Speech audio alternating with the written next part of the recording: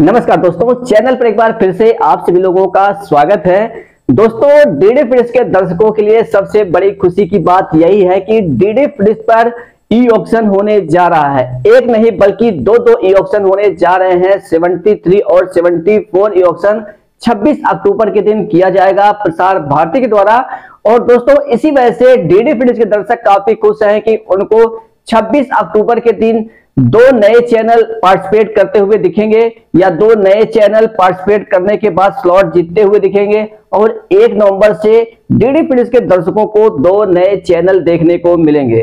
दोस्तों 73 E option में जो कि एमपीजी टू बॉक्स के लिए होने जा रहा है, वो कौन से चैनल हैं जो पार्टिसिपेट कर सकते हैं? कौन से चैनल ऐसे हैं जिनकी संभावना ज़्यादा है जो स्लॉट जीत सकते हैं और एक नवंबर को डीडी फिडिस पर लॉन्च हो सकते हैं?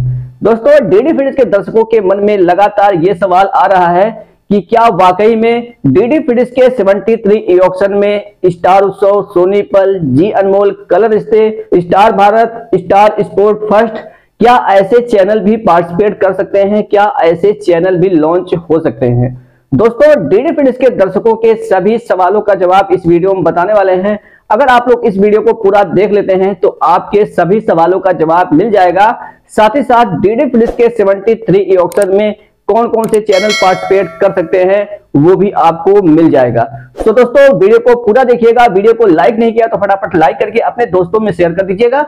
चैनल पर यदि आप पहली बार आए हैं तो आपसे रिक्वेस्ट है कि चैनल को सब्सक्राइब करके बेल आइकन पे प्रेस कर लीजिएगा। ताकि दोस्तों, आप सभी लोगों को डीडी प्रदेश की सही और सटीक जानकारी सबसे पहले हमारे वीडियो के द्वारा मिल जाए तो चलिए दोस्तों, वीडियो शुरू करते हैं। दोस्तों ई ऑप्शन ही एक ऐसा माध्यम है जिसके द्वारा डीडी फिडिस के दर्शकों को नए चैनल देखने को मिलते हैं। जब प्रसार भारती की तरफ़ से ई ऑप्शन का अनाउंसमेंट नहीं किया गया था तो दर्शकों का लगातार कमेंट आ रहा था। दर्शक ये जानना चाह रहे थे कि आखिर प्रसार भारती ई ऑप्शन का अनाउंसमेंट क्यों नहीं कर रहा है? ई ऑप्शन होने में इतनी देरी क्यों हो रही है? दोस्तों, जैसा कि मैंने आप सभी लोगों को अपडेट भी दिया था कि प्रसार भारती ने चैनल लॉन्च होने के लिए जो रिज़र्व प्राइस रखा है, वो जनरल एंटरटेनमेंट के लिए बहुत ही कम है। मात्र 11 करोड़ रुपए रखा गया है जो जनरल एंटरटेनमेंट के चैनल हैं, जो डेडी फिडिस के 73 थ्री ऑप्शन में पार्टिसिपेट करना चाहते हैं। तो उनके लिए जो पैसा रखा गया है, जो कीमत रखा गया है, वो 11 करोड़ ही रखा गया है।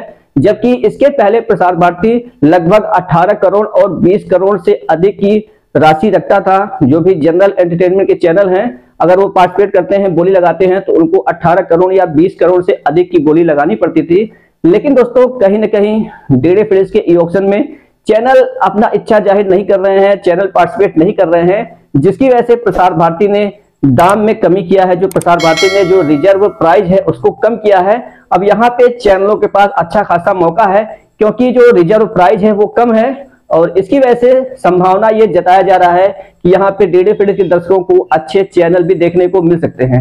दोस्तों, अभी तक ई ऑप्शन में जो पिछला कई ई ऑप्शन हुआ है, उसमें भारत एक्सप्रेस, जो कि एक न्यूज़ का चैनल है और लगातार वो पार्टिसिपेट कर रहा है, लेकिन बोली अधिक नहीं लगा पाता है, जिसकी वजह से वो स्लॉट नहीं जीत पाया है। लेकिन यहाँ पे उस चैनल के लिए अच्छा खासा मौका है। अगर जो बढ़िया चैनल है, जो जनरल एंटरटेनमेंट के चैनल हैं, Star Utsav, Sony Pal, Zee Anmol Colors Rishtey, Star Bharat या स्टार स्पोर्ट फ़र्स्ट ये सब चैनल अगर पार्टिसिपेट नहीं करते हैं तो भारत एक्सप्रेस के पास एक बढ़िया मौका बन जाएगा। और दोस्तों, न्यूज़ का चैनल है, डेढ़ फिर इसके दर्शक नहीं चाहेंगे।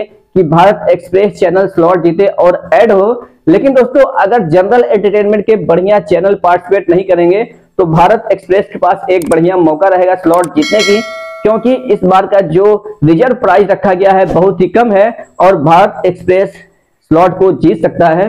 अब दोस्तों, देखना यह होगा कि अब कल के दिन ही कंफर्म हो पाएगा। जैसे ही प्रसार भारती के पास चैनल्स अपना फॉर्म सबमिट करना शुरू करेंगे। उसके बाद ही कंफर्म हो पाएगा कि कौन कौन से चैनल पार्टिसिपेट कर रहे हैं और उसके बाद ही कुछ कह पाना सही होगा कि कौन से चैनल इसमें से स्लॉट जीत सकते हैं। बाकी दोस्तों, तब तक के लिए इंतज़ार करना पड़ेगा। और दोस्तों आप सभी लोगों को यही उम्मीद करना चाहिए कि डीडी फिल्स के 73 ई ऑप्शन में स्टार उत्सव सोनीपल जी अनमोल करण रिश्ते स्टार भारत या स्टार स्पोर्ट फ़र्स्ट जैसे चैनल पार्टिसिपेट करें स्लॉट जीते। ताकि डीडी फिल्स के दर्शकों का मनोरंजन अच्छे से हो सके। डीडी फिल्स के दर्शक अभी वर्ल्ड कप भी चला हुआ है। अगर मान लीजिए जो जनरल एंटरटेनमेंट के चैनल है, वो नहीं आ सकते हैं तो कोई बात नहीं। अगर स्टार स्पोर्ट फ़र्स्ट चैनल भी आ जाएगा तो डीडी फिडिस के दर्शकों को वर्ल्ड कप बिल्कुल फ्री में ही डीडी फिडिस पर देखने को मिल जाएगा। बाकी दोस्तों चैनल के साथ लगातार बने रहिए।